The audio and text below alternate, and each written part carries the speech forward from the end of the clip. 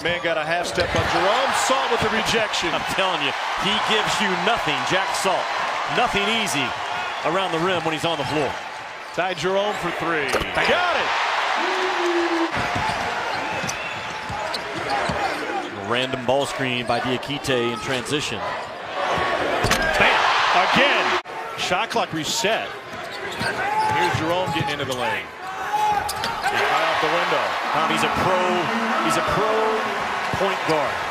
The defensive Yes. end between Virginia and Texas Tech. Yeah, good comparison. Boy, Virginia really wrapping those screens right now, making Louisville work. What a pass. What a look. And Diakite proves that Blondes have more fun. Finally gets his first bucket. Watch Jerome right here. He has great breaks and the vision. As tall of a guard that he is. Jerome turns a corner. Off the window and in. I'm telling you, his explosiveness is vastly, vastly underrated. Since the over 10 minute mark, and they have not driven the ball to get themselves to the line near enough. Jerome. Bucket.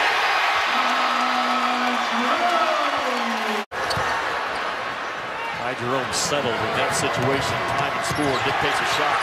Jerome picked the pocket of Jordan Nwora. Tom, where was he going? Where was Nwora going?